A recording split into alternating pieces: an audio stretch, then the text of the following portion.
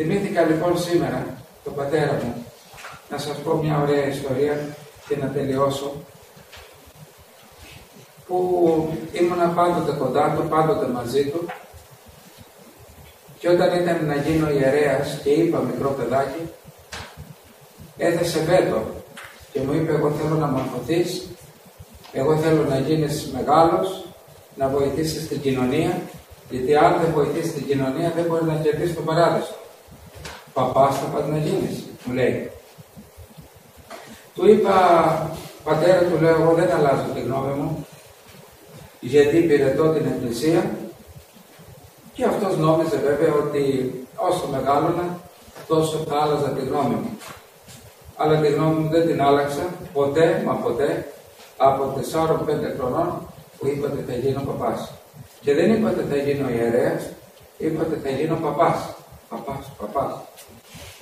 Έτσι λοιπόν ε, ε, περνούσαν τα χρόνια, περνούσαν, περνούσαν, όλο και περισσότερο με πλησίασε, όλο και περισσότερο με αγκάλιασε, παρόλο τις αντιρρήσεις του, αλλά έβλεπε τη μεγάλη μου αγάπη στο Θεό και κάποια στιγμή είπε στη μητέρα μου, λέει κάτι να λέει, μην το εμποδίζουμε το παιδί μας, γιατί αν είναι το θέλημα του Θεού, ποιοι θα είμαστε εμείς που θα εμποδίσουμε το θέλημα του Θεού, μονό μας. Και βέβαια κάποια στιγμή όταν μεγάλωσε ο πατέρας μου που ήμουν πολύ κοντά του και αυτός κοντά μου, με αγαπούσε περισσότερο και από την ίδια του τη γυναίκα. Τόσο πολύ ήταν η αγάπη του. Δεν άκουσα ποτέ τη μητέρα μου και τον πατέρα μου να τσακωθούν. Δεν τους άκουσα. Αν τους άκουσα δύο-τρεις φορές, αλλά μετά τα διόρθωνε ο Άγιος. Ήταν πάντοτε αγαπημένοι. Ζούσαν χωρίς εντάσεις και χωρίς διαφωνίες. Δεν άκουγα στο σπίτι διαφωνίες. Δεν άκουγα φωνές. Αλλά πάντοτε όταν ήταν ενευριασμένο ο ένας από τη δουλειά όπως ο πατέρα μου που δούλευε λιμανεργάτης, η μητέρα μου υποχωρούσε. Και όταν έβλεπε τον πατέρα μου ότι ήταν ε, ο πατέρας μου, τη μητέρα μου, θυμωμένη από εμάς τα παιδιά που ε, μας πρόσεχε, γιατί ο πατέρας μου πολλές φορές ε, κάναμε να τον δούμε και τέσσερις και πέντε και μία εβδομάδα, γιατί το λιμάνι της Σούδας τότε δεν ήταν όπως είναι τώρα. Υπήρχαν, δεν υπήρχαν τα καράβια και ένα καράβι που ερχόταν και φόρτωνε και ξεφόρτωνε το καλαμπόκι, το ποστάλι, να σας το πω έτσι, παλαιότερο το ξέρετε, έλειπε και μία εβδομάδα εκεί στο ακροτήρι, όπου είχαν στέγη μέσα στο πλοίο και φορτώνανε και ξεφορτώνανε και όταν τελείωνε το καράβι αυτό το αμερικάνικο ή το γαλλικό που ερχόταν ή άλλα καράβια γερμανικά, τότε ερχόταν στο σπίτι. Και καταλαβαίνετε πόσες εντάσεις θα μπορούσαν να υπήρχαν. Όμως δεν έζησα σε εντάσεις που ζουν τα σημερινά ζευγάρια, οι σημερινοί γονείς, που τσακώνονται πολλές φορές ο ένας με τον άλλο. Ήταν πολύ ωραίες τις στιγμές που έζησε ο πατέρας μου με τη μητέρα μου χωρί εντάσει, αλλά με τη βοήθεια και τη χάρη του Θεού. Και αν υπήρχε κάποια ένταση, υπήρχε ο Άγιος Δημήτρης και τα τακτοποιούσε όλα. Γι' αυτό λοιπόν η ζωή μου κοντά στους γονείς μου και στον πατέρα μου ήταν ε, πολύ γαλήνια, όπου κάποια στιγμή ήταν ο Θεός να τον πάρει και στα 75 του ε, έδειξε καρκίνο, καρκίνο του εντέρου. Έβαλα τον Τίμιο Σταυρό και οι γιατροί είπαν ότι είναι προχωρημένος ο καρκίνος και θα φύγει από τη ζωή. Σε δύο-τρεις μήνες ζωής έχει, δεν έχει περισσότερο, γιατί έχει πάει και στο σηκώτη και παντού. Έβαλα τον Τίμιο Σταυρό και του είπα, Σταυρέ μου, αν θέλεις τον πατέρα μου να με απολαύσει ακόμα σε κάποιες λειτουργίες, αν θες να τον θεραπεύσεις και να τον κρατήσεις έστω για λίγο, όχι πολύ, για λίγο, εσύ ξέρεις.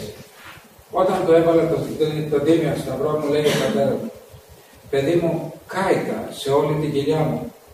Λες και βγάζει φωτιά η κοιλιά μου.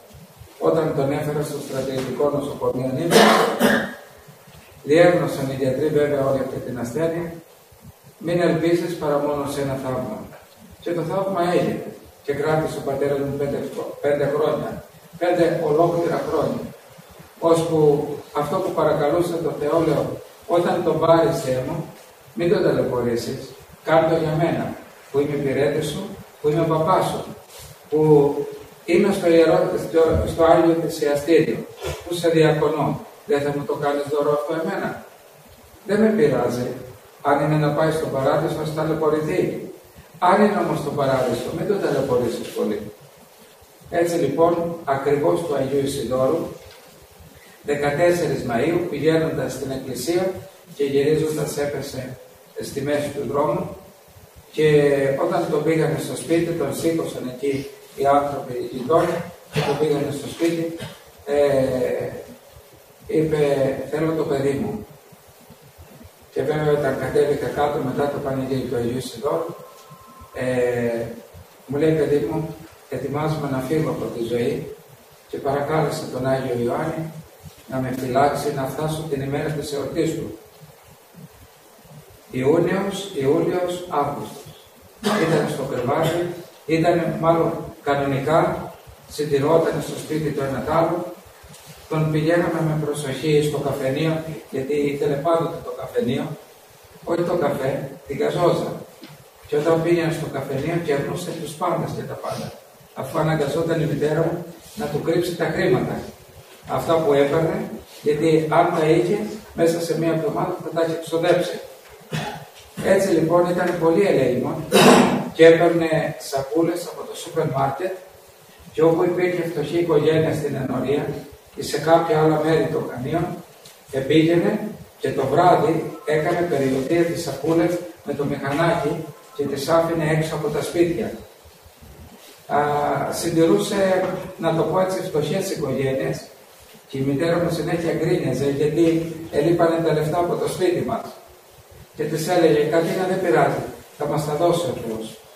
Σε μικρότερη ηλικία πριν πιάσει τον καρκίνο, τον είχε θεραπεύσει η Αγία Μαρίνα από τη Βόνη, από το Ηράκλειο της Κρήτης, που είχε πάει, τον είχε θεραπεύσει από καρκίνο πάλι τότε την πρώτη φορά που πάλι οι γιατροί δεν του δίνανε καμία ε, διορία ζωής και τους είπε ότι εγώ δεν θα κάνω ούτε θεραπείες ούτε τίποτα. Άμα θέλει ο Θεός και η Αγία Μαρίνα να με θεραπεύσει, ας με θεραπεύσει. Πήγε στη χάρη της και την ώρα που προσκυνούσε την Αγία Μαρίνα, βλέπει ο πατέρας μου και βλέπουν και, και άλλοι αρκετοί, μία μαυροφόρα γυναίκα, να του λέει: Μην ανησυχείς, θα γίνεις καλά, και το παιδί σου θα γίνει παπάς. Ήμουνα λαϊκός τότε. Δεν ήμουνα, ούτε τίποτα δεν ήμουνα. Λαϊκός ήμουνα, στο σχολείο ήμουνα. Ωραίες ιστορίες έτσι, τις ακούτε όμορφα. Έτσι λοιπόν, ε, όταν έβγαλε τον καρκίνο, όταν έπεσε μάλλον κάτω, ε, ε, πήγαινε κανονικά, συντηρούταν, έτρωγε, κατέβαινε στο σπίτι, πήγαινε αυτό και ακριβώς λίγο πριν μπει ο Αύγουστος, κατά το προφήτη Ηλία, ε, έπεσε στο κρεβάτι, γιατί δεν βαστούσαν τα πόδια του, άρχισε να μην τρώει πολύ, να δυνατίζει σιγά σιγά και να είναι συνέχεια στο κρεβάτι. Με το γέλιο. Ο πόνος, ναι, είχε σταματήσει τις χημειοθεραπείες, γιατί λέει, εγώ δεν θέλω να κάνω χημειοθεραπείες. Κατίνα, δεν θέλω να κάνω. Αν ζήσω δύο μήνες περισσότερο οι τρεις μήνες τι έγινε, αφού ο Θεός θα με πάρει. Και έτσι λοιπόν σταμάτησε τις χημειοθεραπείε, τα σταμάτησε όλα, ήθελε να φύγει από τη ζωή αξιοπρεπώς.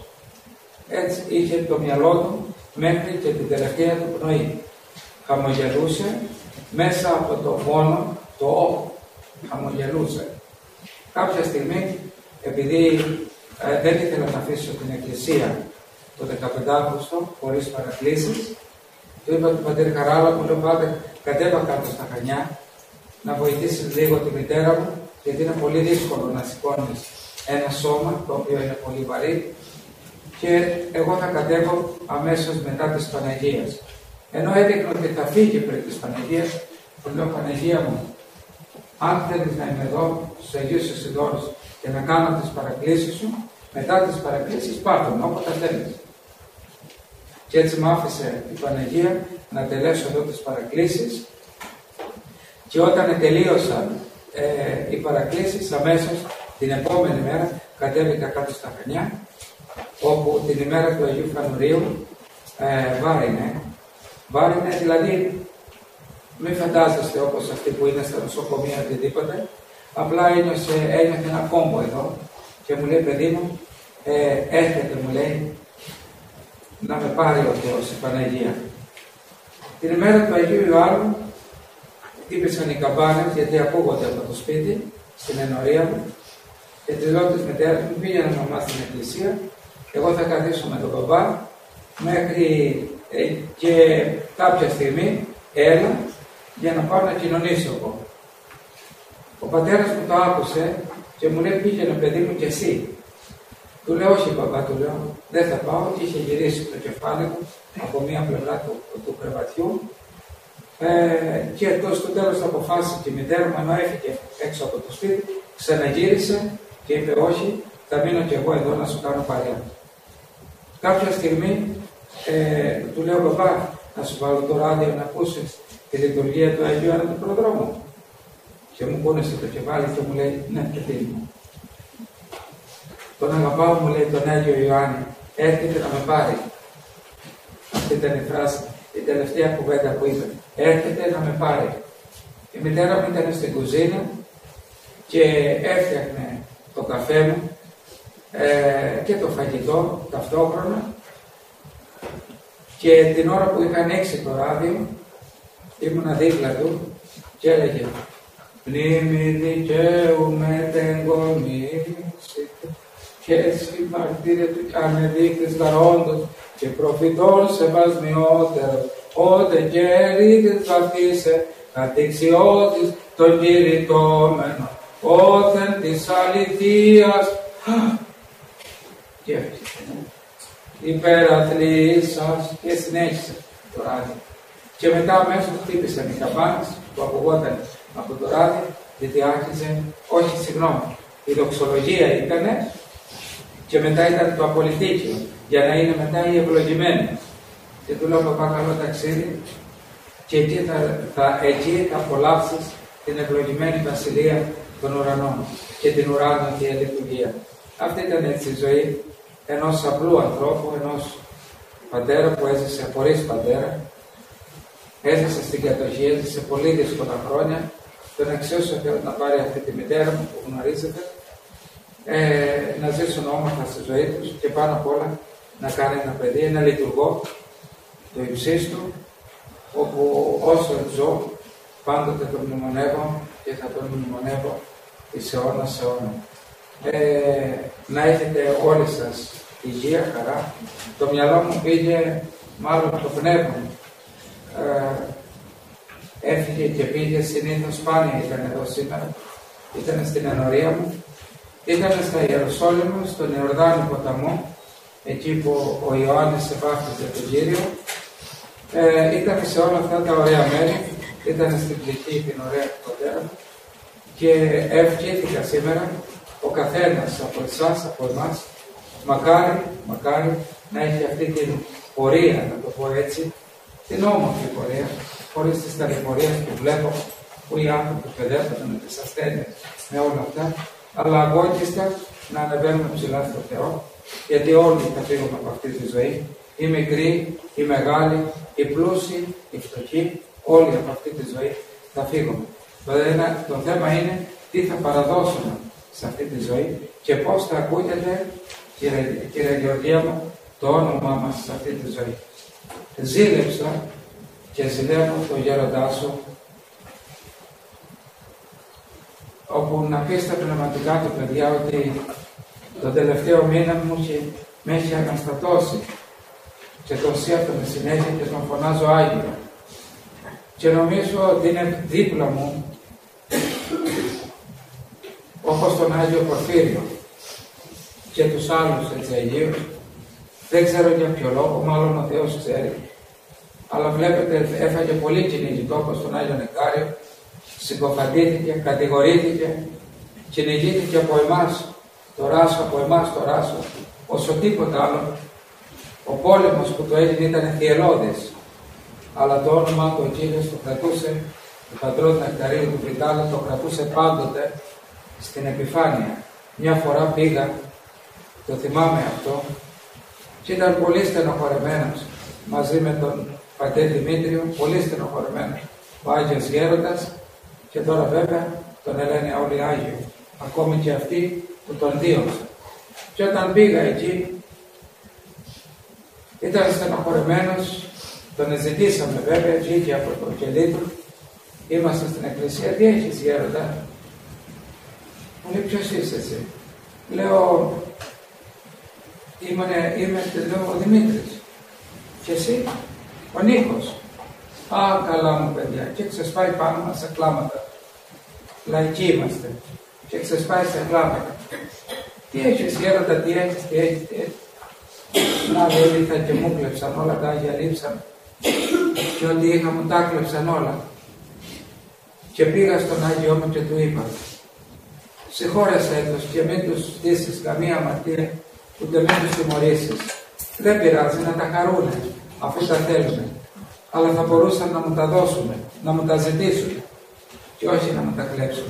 Και βέβαια ποιος τα έκλεψε, γιατί τους, ε, γιατί τους ε, βρήκε, δηλαδή, τους βρήκαν. στα πνευματικά του παιδιά. Αφήστε Δεν πειράζει, δεν πειράζει, δεν πειράζει. Κι όμως οι μεγάλοι αυτοί γεροντάδες ήξεραν και να συγχωρούν, ήξεραν και να χαϊδεύουν, ήξεραν και να παίρνουν κοντά τους ε, τα παιδιά τους, μικρούς ή μεγάλους. Εύχομαι, σας είπα έτσι διάφορα, και η, η υγεία μου είναι λίγο κάπως έτσι, όπως βλέπετε, με έχει χτυπήσει και πολύ νωρίτερα, γιατί όταν ήμουν ταχυδρόμος είχα πολύ εκμόρια, ξέρετε, στο μηχανάκι πάνω, δεν πρόσεχα και όλα και τα υπόλοιπα, μια το κεφάλι, μια η μέση, μια το σώμα. Ε, πάντα Δημήτρη, λέει κάποιος από εδώ μέσα. Μεγάλωσες και μεγαλώνεις, κάτσε. Ναι, τι να κάνουμε, όντως έτσι. Δεν είσαι παιδάκι μου, λέει. Μου είπαν. Δεν είσαι παιδάκι. Ε, το ξέρω, λέω, θέλω να είμαι πάντοτε παιδάκι. Αλλά δεν γίνεται. Λοιπόν, ας μεγαλώνει το σώμα και η καρδιά ας κρατάει παιδική όπως έτσι ο Θεός θέλει ε, χρόνια πολλά να ε, όσοι γιορτάζουν και έχουν το όνομα Ιωάννα, Ιωάννης και σήμερα γιορτάζουν και κάθε φορά που είναι το Αγίο Ιωάννα και εύχομαι ο Θεός να είναι πάντοτε κοντά μας, πάντοτε μαζί μας. Ε, αύριο έχουμε μια λειτουργία κοινώνει σε μια κυρία με τον Αλεξάνδρα και της εύχομαι από σήμερα, δεν ξέρω που και, και σας εύχομαι χρόνια πολλά, ο Θεός να σας αγιάζει.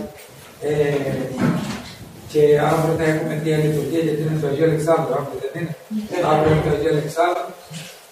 Και θα έχουμε τη λειτουργία και την επόμενη μέρα είναι της, ε, τη μία ζώνης και πάλι θεία λειτουργία το Σάββατο, την Κυριακή και από την Κυριακή κάθε μέρα θεία λειτουργία θα έχει ο ναός το πρωί και το απόγευμα από 1 Σεπτεμβρίου, από 2 Σεπτεμβρίου τις παρακλήσεις του Τιμίου Σταυρού και πάλι χρόνια πολλά και ευλογημένα. Ε, μας ταλαιπώρησε λίγο μήνας Αύγουστος, αλλά μας χαροποίησε και όλα τα ωραία πανηγύρια και το τελευταίο πανηγύρι του Αγίου Φανουρίου. 99 πίτες, φοβερό, ακούτε, 99 πίτες το βράδυ της εορτής, το παραμονή της εορτής του Αγίου Φανουρίου στο Δεσπερινό.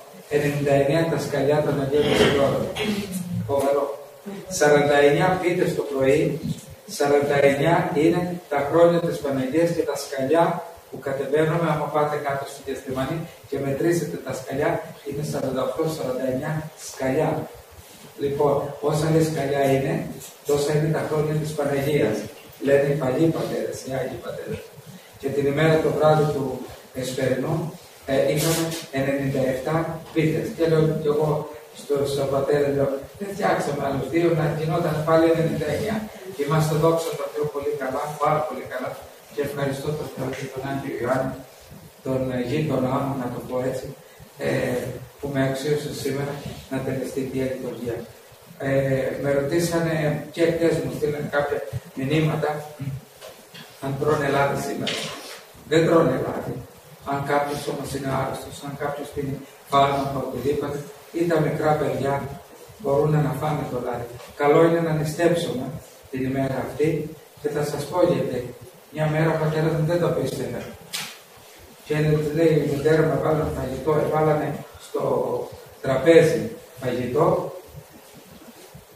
και του λέει η μητέρα μου, σήμερα δεν τρώμε κρέα, δεν τρώμε τίποτα. Γιατί τι είναι σήμερα, γιατί είναι το προδρόμιο. Ε, καλά, εντάξει, βάλουμε φάμε λάδι. Δεν τρώνε ούτε λάδι, αυστηρή μητέρα μου. Δεν, δεν, ε, δεν τρώμε ούτε λάδι. Ένα από αυτά είναι ε, φιλοσοφίας του λέει και τα λοιπά. Και βάζω και τρώω. Εμείς δεν φάγαμε όμω που είμαστε μικρά μικρά παιδιά, δεν φάγαμε λάδι. Μόλις έφαγε το λάδι, τον πιάνει ένα ρίγο και ένα πυρετός από το πουθενά. Έτρεπα. να φωνάζει. Του λέει, τι έπαθες, λέει φέρε να μας σκεπάσεις με κουβέρτες. 29 Αυγούστου με κουβέρτες. Πήγε στο κρεβάτι της άφησα. Το γιατρό! Καλά σου κάνει που σε έδειρε ο Άγιος Ιωάννης στο πρόγραμμα. Άλλη φορά να μην τα βάζεις μαζί του. Γιατί είναι ο πρώτος Άγιος. Είναι ο βαπτιστής του Χριστού. Ε, καλά και το είπα τώρα έτσι για αστεία του το είπα. Είναι ανάγκη αυτός να μου φέρει ρίγο. Λοιπόν, φέραμε τον γιατρό, τον Μιλονάκη, το στρατάκι, κάτω από τα κανιά. Το κάνει αυτό, ούτε προσικά είχε, ούτε πνευμονία σου είπε, ούτε τίποτα δεν θα του λέει καμία ασπιρινούλα, τότε καμία ασπιρίνα. Σαν του λέει θα του περάσω. Του δίνουμε μια ασπιρίνη, συνέβη. Λοιπόν, και λέει, και είπε, αν είναι από σένα, Άγιε μου Ιωάννη, αν είναι από σένα, τότε να μην ξαναφάω λάδι την ημέρα της εορτής σου. Και θα την εστέλνω για την οικογένειά μου. Προσέξτε, την προπαραμονή του Αγίου Ιωάννου, ότι μία χρονιά πριν που έκανε και τις θεραπείες, ο πατέρας μου, το φέρατε στο νοσοκομείο, στο, που πήγε στο νοσοκομείο να κάνει τις τελευταίες ας πούμε χημεθεραπείες ε, του φέρανε ε, φαγητό. Ξέρετε, κοτόπουλο, τέτοιο αυτό. Δεν έφαγε. Μα πρέπει να φας. Δεν έφαγε.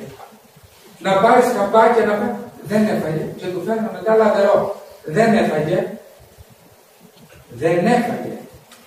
Είναι φοβερό αυτό, Μαρία. Ήταν τη στιγμή που είχε σώα στα σφρένα του, δεν έφαγε αριστεία. Τι του κάνανε να πας, να σου βάλουμε λίγο έτσι στο χείλο Και γύρισε και μου είπε την έξι. Γιατί μου, γιατί μου, γιατί μαρτυρώ με αυτούς τους ανθρώπους; Αφήσετε τους, αφού δεν θέλει, αφήσετε. Ιερέας εγώ τώρα έτσι. Λοιπόν, και τον αφήσαμε. Μόλις πέρασε η μέρα, μετά τις 8-10 η ώρα, λέει, ε, του λένε, ε, κύριε Γιώργο, να σου δώσουμε λίγο κρεατάκι που πρέπει να φας οπωσδήποτε. Γιατί την επόμενη μέρα θα είσαι, θα είσαι χάλια. Γιατί χρειάζεται τροφή το σώμα σου. Να σου δώσουμε λίγο λάδι. Στις 10 η ώρα το βράδυ του δώσανε και τι ζήτησε; Μία κουταλιά λάδι από το καντήλι του Αγίου Ιωάννη του Αυτή ήταν το φαγητό του την ημέρα. Και προσέξτε, το πήρε την επόμενη χρονιά ο Άγιος Ιωάννης ο πρόδρομος. Λοιπόν, ο Θεός μαζί μου. Διευκόν, Άγιο Πατέρας λοιπόν, ε, πριν πόσα χρόνια. Ε, είναι 12 χρόνια τώρα. Είναι 12 χρόνια. Το θυμάμαι σε μια ωραία έτσι ανάμεση. Ε, θυμάμαι, ξέρετε ποιο Μαρία τι μου έμεινε; Ότι δεν άκουγα τσακωμό στο σπίτι. Αυτό μου έμεινε. Δεν άκουγα εντάσεις. Αν συζητούσαν οι γονείς μου, θα συζητούσαν το βράδυ στο κρεβάτι τους ή μακριά από τα παιδιά τους. Δεν τσακωνόσουν. Αυτό μου έλειψε. Δεν άκουγα φωνή μέσα στο σπίτι. Έμπαινα στο σπίτι και λέω, είναι κανείς στο σπίτι, δεν είναι. Εκκλησία. Δεν άκουγα. Αυτό μου έλειψε. Και αυτό μου λείπει.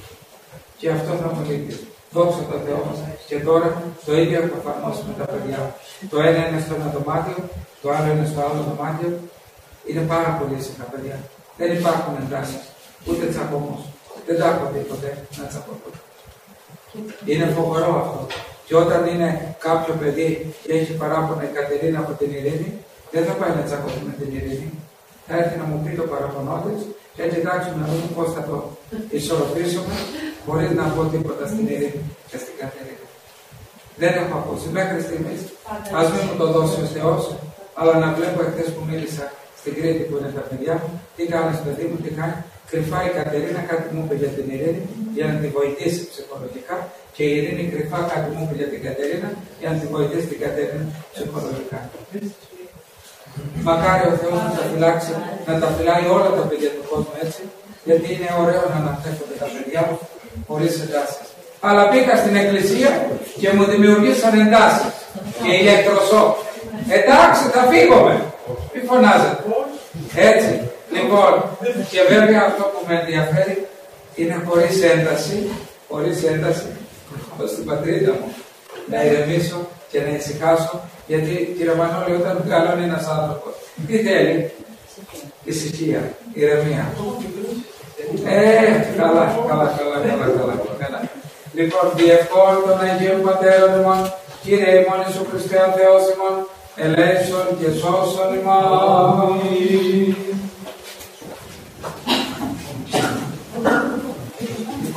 Αν ξανακλείσετε, αν ξανακλείσετε το, το, το τηλέφωνο, το μικρόφωνο, να ξέρετε ότι θα κλείσει τα δικά Είναι κανόνας αυτό. Γιατί παιδί μου κλείνετε τη φωνή μου. Elena sotto. No, ancora bianca, bravi, zappate non testa, se ne ferma. È vero.